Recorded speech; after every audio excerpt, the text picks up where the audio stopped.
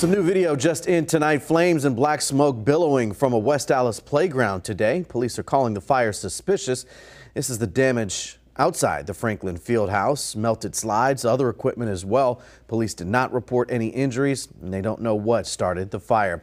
That playground is behind the Franklin Field House in Honey Creek Park. It's near 86th and National in West Allis.